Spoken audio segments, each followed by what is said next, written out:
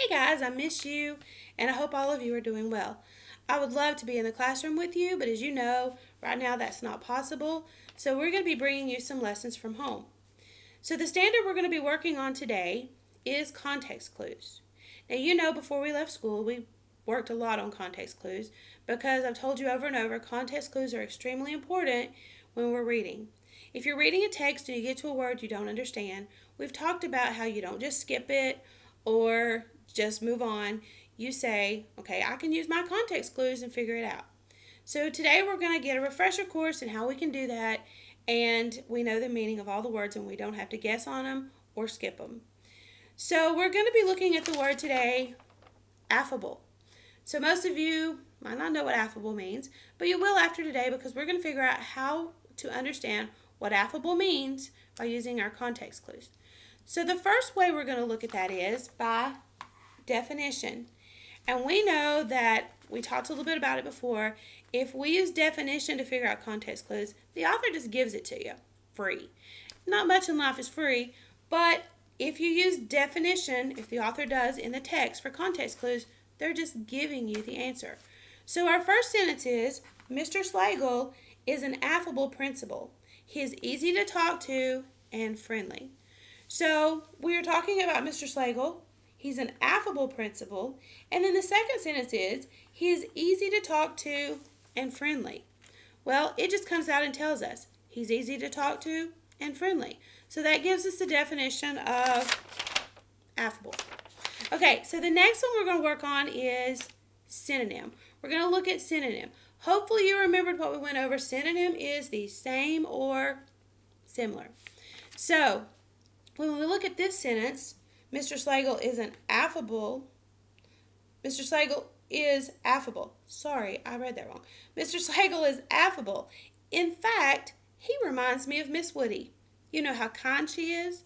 So, there we're looking at two things that are similar or the same. I said that Mr. Slagle was affable, and then I come down and I use the words, in fact, he reminds me of Miss Woody. You know how kind she is. So when I'm saying that he reminds me of Miss Woody, and I've already told you that Miss Woody is kind, we know that affable means the same or similar as kind. So that's when the author is using synonyms to help you figure out what the word means. Now we move on down, we look at the next one, and I hope we remember this one too. Antonym. Antonym means the opposite. So sometimes authors will use text using opposite of what the word means. So if we're looking at antonyms, we're going to look at the next sentence. It says, I miss Miss Woody. Our new teacher is grouchy and hard to talk to. Miss Woody is so affable. So there we're saying Miss Woody is affable. And the new teacher, probably Miss Freeman, is grouchy and hard to talk to. So we know that we've already said we miss Miss Woody so we know we like her. We wouldn't miss her if we didn't like her. So we miss Miss Woody. Our new teacher is grouchy and hard to talk to. And Miss Woody is affable. So she's the opposite of grouchy and hard to talk to. So the opposite of grouchy would be kind or nice. And the opposite of hard to talk to would be easy to talk to. So that is how we would use antonym. Now, the next is just an example. So the author might give you an example of what the word means. So looking at our next sentence, Mr. Slagle is an affable principal. He knows our names. If you have a problem, just talk to him. So there it just gave us an example. It says Mr. Slagle is an affable principal. He knows our names. If you have a problem, just talk to him.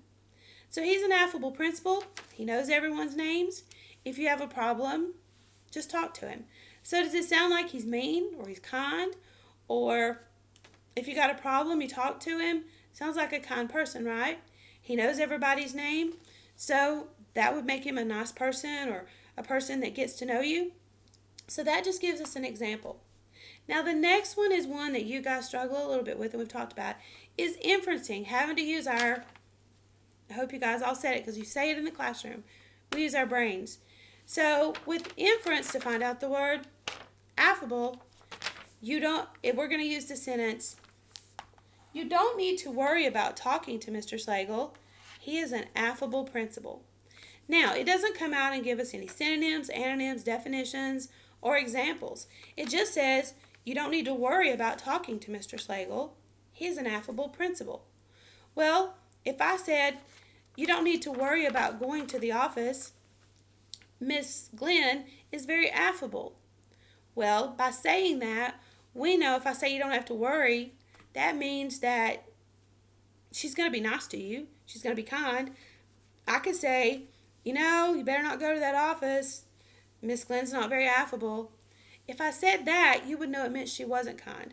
But of course, we know she is. So I would say, don't worry about going to the office to see Mr. Slagle or Mrs. Glenn. They're very affable, which tells us that they're very kind and easy to talk to. Now, like I said, Ms. Freeman's not great at these videos, and I hope that this helped you.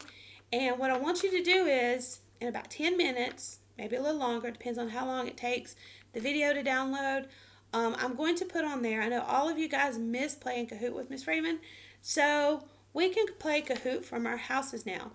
And it is not timed. It's an assessment that you guys can go on.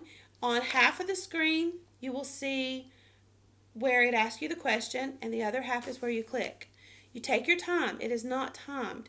So please, please take your time. It's on context clues. I will send you the link on Google Classroom. It'll be below um, where you have the video. You can do it at any time, today, tomorrow, tonight, doesn't matter.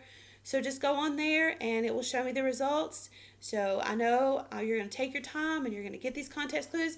It has examples of all of these. So go on there, do your Kahoot, and I will get your results and see how well you did. So, Miss Freeman loves you. See you next time.